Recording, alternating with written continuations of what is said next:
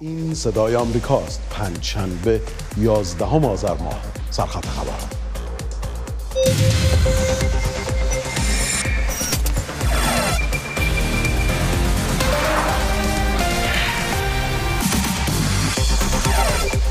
چهارمین روز مذاکرات هسته‌ای وین و پیشنهادهای ایران.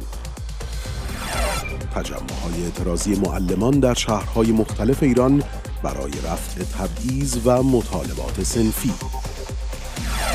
و دیدار وزیر خارجه آمریکا با همتایان روس و اوکراینی.